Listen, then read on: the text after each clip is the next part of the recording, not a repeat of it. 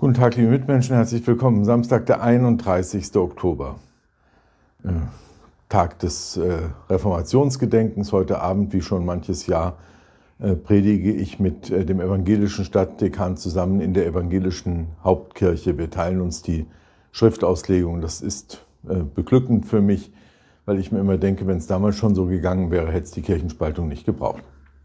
Braucht es übrigens auch heute nicht.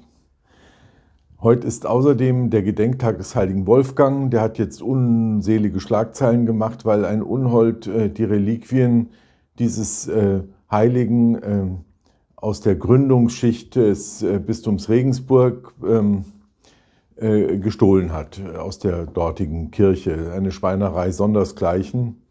Ähm, Wolfgang um 930 äh, im schwäbischen Pfullingen geboren, steht hier im Schott. Also der wackere Schwabe forcht sich nicht.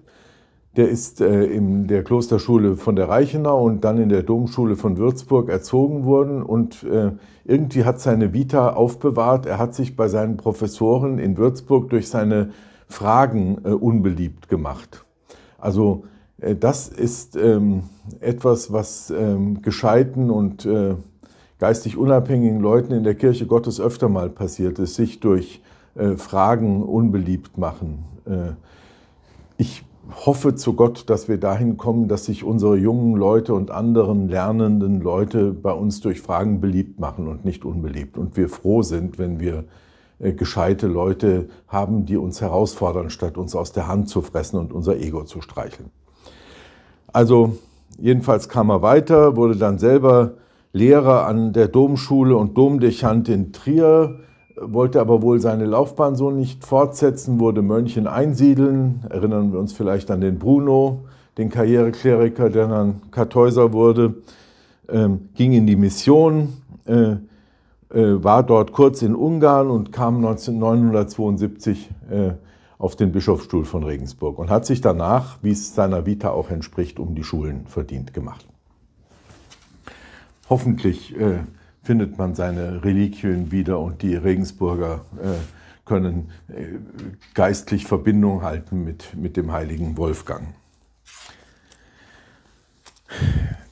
Äh, der Lesung, die Lesung, Bahnlesung aus dem Philipperbrief. Meine Brüder, auf jede Weise, ob in unlauterer oder lauterer Absicht, wird Christus verkündigt.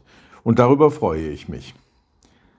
Aber ich werde mich auch in Zukunft freuen, denn ich weiß, das wird zu meiner Rettung führen durch euer Gebet und durch die Hilfe des Geistes Jesu Christi. Darauf warte und hoffe ich, dass ich in keiner Hinsicht beschämt werde, dass vielmehr Christus in aller Öffentlichkeit, wie immer so auch jetzt, durch meinen Leib verherrlicht wird, ob ich lebe oder sterbe. Denn für mich ist Christus das Leben und Sterben Gewinn. Wenn ich aber weiterleben soll, bedeutet das für mich fruchtbare Arbeit. Was soll ich wählen? Ich weiß es nicht. Es zieht mich nach beiden Seiten. Ich sehne mich danach, aufzubrechen und bei Christus zu sein. Um wie viel besser wäre das? Aber euretwegen ist es notwendiger, dass ich am Leben bleibe.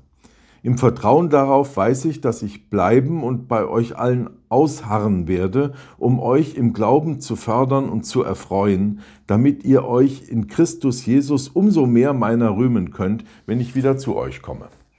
Ja, also wieder so, so typisch Paulus, ähm, der der ganz von sich selber wegkommen möchte und ganz äh, und gar von Christus erfüllt sein will und auch wird. Aber äh, sein Ego steht ihm eben trotzdem im Weg und immer wieder, plopp, ist es wieder da und ähm, steht ihm im Weg. Ja, ähm, macht ihm auch Schwierigkeiten. Aber ich liebe ihn dafür, er ist halt so ähnlich wie wir.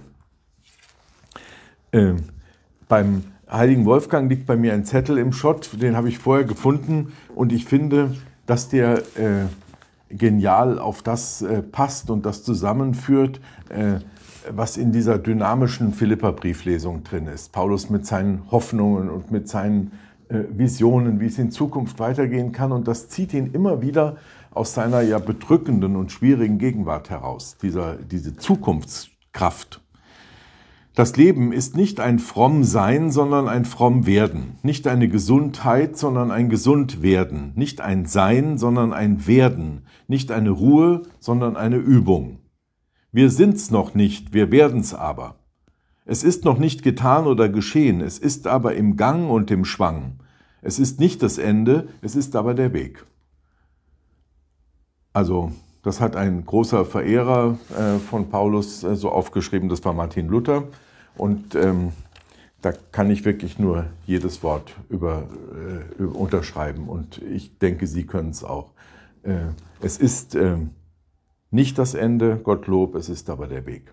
Äh, Gott segne und behüte Ihren Weg.